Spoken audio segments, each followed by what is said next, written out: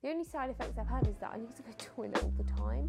I'm not going to be able to go back and have the same chemo that I had before because it was so harsh on my body. When you're in my position, you don't know when it's going to be your last anything. So if it is my last Christmas, then I want it to be.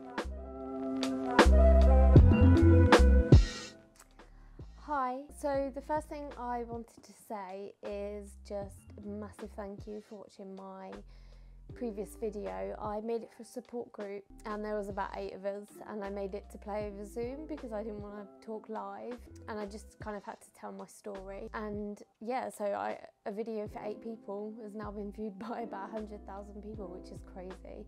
Um, so massive thank you to everybody who watched and has subscribed. I've had some people commenting asking for an update. Here it is, I guess. So first things first, I am okay-ish. I started chemo, as I said in my last video, at, at the end of December, so the 23rd of December.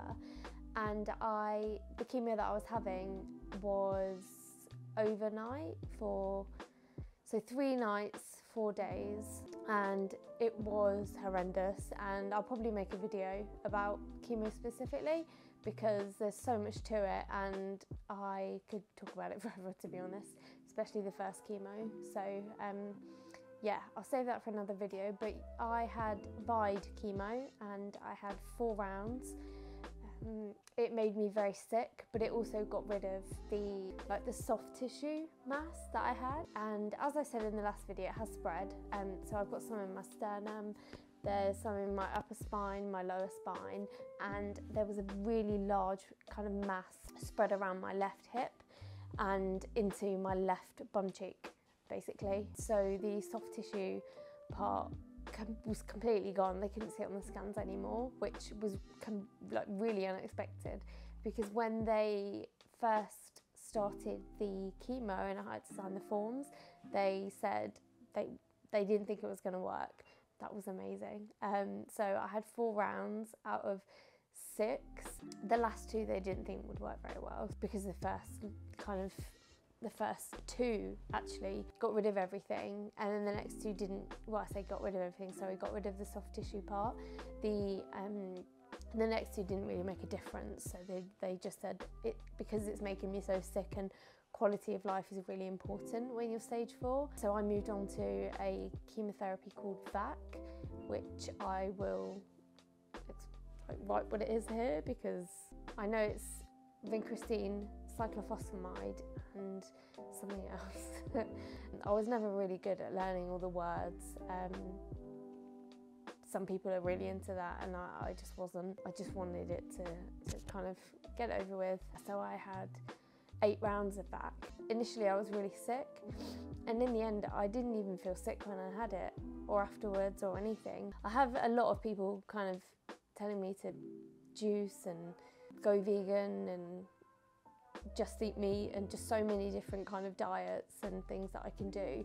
Um, and I actually juiced for five days before chemo and five days afterwards. And I swear that's what made me not feel sick um, because it was the only thing that I did that was different. But yeah, anyway, so I had eight rounds of VAC and then I took a break because you just can't keep having chemo. Um, during my chemotherapy, when I was having VAC, I kind of, it took me maybe a few days to get over the chemo and then I had two and a half weeks until my next round. So we actually spent the whole summer going around in our camper van Rosie. My friends from school, who some of them I haven't seen for 10 years, so it was pretty amazing actually. They created a fundraiser for us because we both lost our jobs. We bought Rosie and I will show you what we've been up to this summer, I guess. So we headed to the Lake District and spent a few days there kayaking on Lake Windermere, which was really cool. We also spent some time in the Peak District this really close to where my family lives. So it was really nice to spend some time there. Here are some of the lovely views. We also went to Wales quite a bit. This is in Pembrokeshire. So we visited Pembrokeshire with Harry and Rihanna, my friends, and this is a really cool rock pool that we found near St Govan's Chapel. My sister loves Wales, so Obviously, being in Wales, we bumped into her, and this is us spending some time in the water and at the Blue Lagoon. We also spent some time in North Wales. This is the Mountain Prince train that takes you around Snowdon. We also went to Silverstone because we love Formula One. We've taken part in some fundraising too for Macmillan. We also did the Race for Life and we went to see Biffy Clyro. We've managed to spend quite a bit of time with my sisters, and this is because we all have our own vans. Here they are together. Here's some really cool pictures that I really like of us in Rosie. They're my favourite pictures. This is real life in a van, I guess, instead of all the lovely pictures outside. And here's some family enjoying the van. We also went to the West Midlands, see some friends, I got to ride a speedboat, and here are some random trips that me and Rodian have taken as well together, and Harry Potter World, of course. And this is my dad and my nan, my cousin. This is a whole other video, but I actually only met them this year. So after I finished chemotherapy, we had a little break. So that was half of August, September and half of October. I've had a PET scan at the beginning of September which shows that nothing is growing at all. It's still in my bones, so the chemo didn't get rid of that, I just kind of stopped it from growing for a bit. So during September I celebrated my 28th birthday, which was incredible because it's just not something I ever thought that I would ever reach to be honest. When I was told that the cancer was spread, the nurse sat me down and said, oh, like we need to make sure you're comfortable. That's the most important thing. And another nurse said she wanted to pray for me, and and it was it was so sweet, and they were lovely. But all I was thinking was, fuck, I'm dead. That was it. That's why we spent the summer doing crazy amount of things and just making lots and lots of memories and and then I managed to reach my 28th birthday. So we had a big party with all my friends and my family. I had a really lovely meal, uh, the best birthday cake I've ever seen. I love Formula One. Uh, we went to Silverstone in the summer, which was just the best experience I've ever had ever. And the so the cake was a tire. I'll just put a picture, but it was it was half tire and half a rainbow cake because I love rainbows. So that was really nice. So I, I celebrated my birthday with everyone and then I started radiotherapy. So I'm currently on round 20, I believe, and I have 30. And it's been okay, radiotherapy. I haven't, the only side effects I've had is that I need to go to toilet all the time.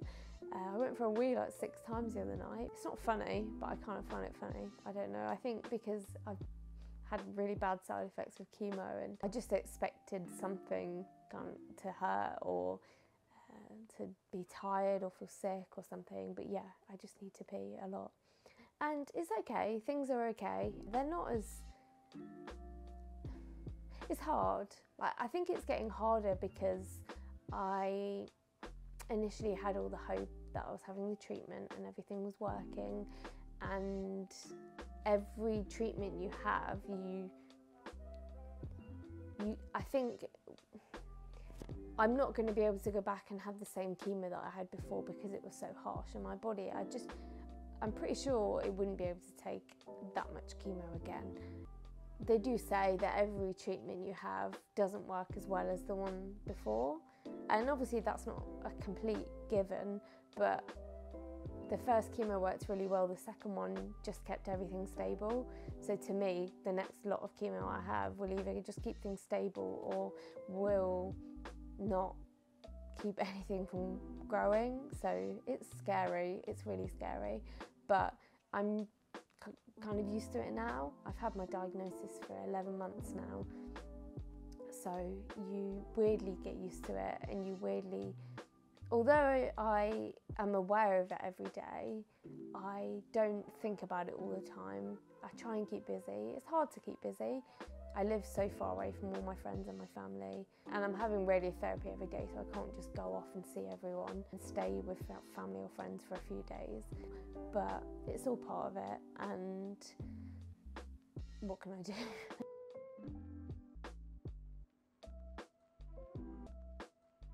I'm just really looking forward to finishing radiotherapy and getting ready for Christmas. Last Christmas, I was having chemotherapy, and it was my first chemotherapy, and it was horrific. So, this Christmas, we want it to be really, really, really, really special. And when you're in my position, you don't know when it's going to be your last anything. So, if it is my last Christmas, then I want it to be really special because Christmas has always been really important to me. I always want it to be really magical and just to have the most amazing time. So we are planning something really special, hopefully.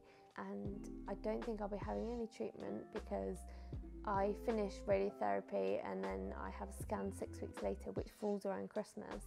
And then when the results come back, then we will decide what we're going to do next. Hopefully, that means, well, I know I and also if you're going through anything like this, you can make decisions. So, for example, if I had a scan on the 23rd of December and they said, Oh, we'll get the results tomorrow, you can say, No, I don't want them. I want to just enjoy Christmas and I'll speak to you next week or something like that. Like, I'll speak to you the week after because it is your life as well. And especially if it's not curable, uh, you don't want to be in a position where this completely controls your life, which I thought it did at first and I didn't know that I could kind of turn around and say no to things. So yeah, make sure if you are in this position that it works around you as well. In the new year, I guess we'll have some discussions and depending on what happens with the disease, if it starts growing or not, then I will start a new treatment. Um, I'm really hoping for a break because it's really nice having a break.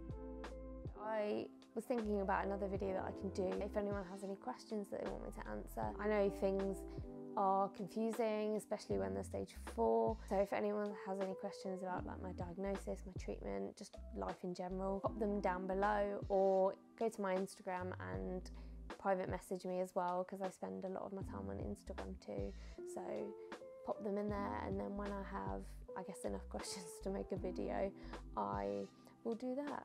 Um, but yeah, thank you. I didn't expect to have a YouTube thing going on, but it seems people kind of enjoyed the video, so hopefully I can make some videos and help people raise some awareness. And please do leave a comment if you're thinking about it because I love reading them and replying to them. So thank you, and I shall see you in the next video.